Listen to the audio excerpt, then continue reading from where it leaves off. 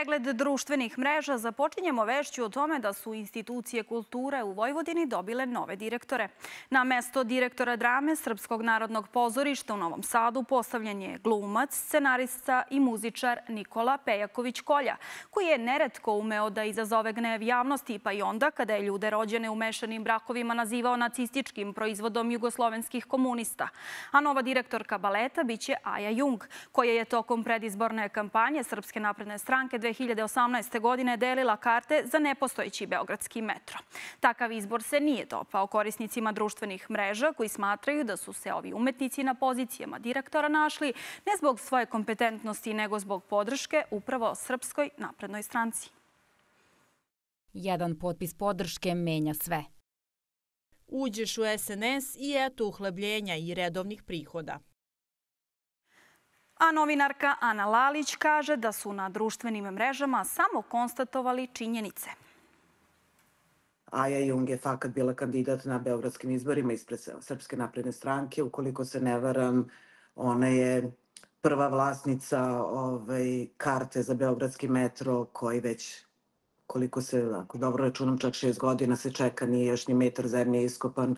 Nikola Pejaković je čovek koji je ljude iz brakova, mešanih brakova nazvao miješanim mesom, a, a takođe je rekao da ljudi koji nisu vernici zaslužuju metak u čelu.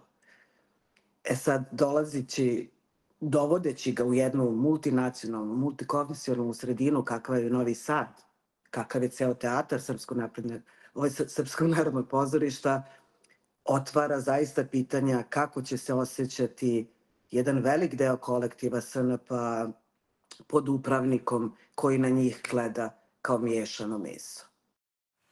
Svi znamo da je internet široko polje na kome se može naći dosta važnih informacija, ali je isto tako i polje za manipulaciju. Tehnološki napredak omogućio je i da lažne vesti i popularni fake news izgleda što uverljivije. To da lažna vest može dovesti i do uznemiravanja javnosti videli smo na poslednjem primjeru kada je dečak Abdullah Šeković pobedio u trci na krosu RTS-a u Leskovcu. Prvo se pojavila informacija da je triumfovao, ali da ga navodno nisu pustili na pobedničko postolje, pa se kako u medijima, tako i na mrežama povela polemika da li je prema Mališanu iz Novog pazara učinjena nepravda na nacionalnoj osnovi. Međutim, nakon zgražavanja javnosti zbog navodne diskriminacije, objavljeno je da je slika zloupotrebna zloupotrebljena. A do kakvih problema mogu da dovedu lažne vesti na internetu, objasnio nam je fake news tragač Stefan Janjić. Mislim da je ovo jedan od primjera koji pokazuje takozvani Brandolinijev paradoks, da je vreme koje nam je potrebno da analiziramo dezinformaciju obrnuto proporcionalno vremenu koje je bilo potrebno da se ta dezinformacija stvori. Dakle, ta dezinformacija je nastala na osnovu nekoliko nejasnih podataka, na osnovu nekoliko fotografija, a sa druge strane, kada je trebalo da se ispetljamo iz čitave te situacije, videli smo koliko je i truda i vremena bilo potrebno. Ja bih rekao da veliki broj korisnika koji su naišli na tu dezinformaciju i dalje su ubeđeni u, u taj inicijalni okvir koji je predstavljen. Rekao bih da je ovo takođe vrlo specifično po tome što je reč o deci, dakle vrlo je osetljiva tema i po tome što su mnogi širili zapravo ovaj fake news iz nekakve dobre namere a velikim audiovizualnim spektaklom uz pomoć dronova i vatrometa na Savskoj promenadi juče je obeleženo osam decenije od oslobađanja Beograda u drugom svetskom ratu.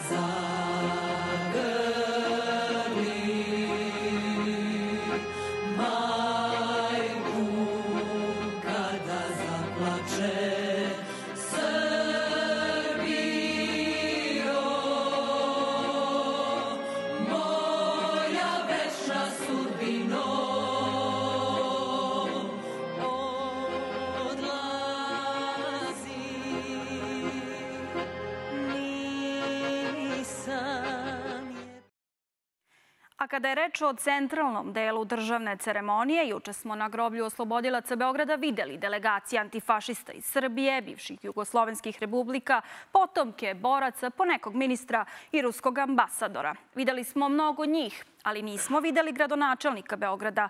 Aleksandar Šapić jedini je gradonačelnik Beograda u poslednjih 80 godina koji građanima svog grada nije čestitao dan oslobođenja. Samo je jedan od brojnih komentara koji su se nizali na društvenoj mreži X i još jednom pokazao da nije dostojan pozicije na kojoj se nalazi. Sa druge strane, nikom i ole normalnom nisu potrebne njegove čestitke. Gde je gradonačelnik Šapić na dan oslobođenja Beograda? Neviđeni skandal. Zamislite da na dan pada Bastilje ne dođe gradonačelnik Pariza.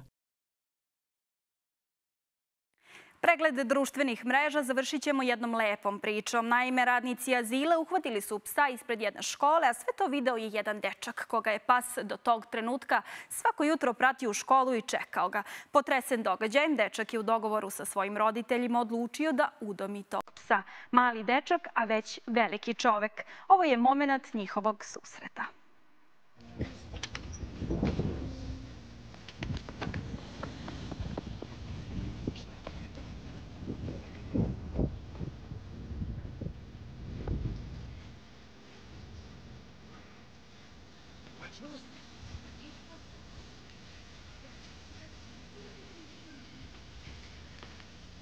E così, facciamo, facciamo i silebi, facciamo Miccio. Grazie.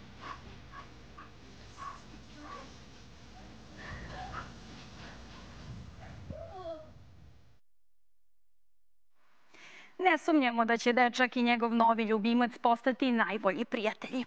A ukoliko i vi imate neke predloge za nas, pošaljite nam to na Instagram profil etnovas.tv. A mi se vidimo i naredne nedelje.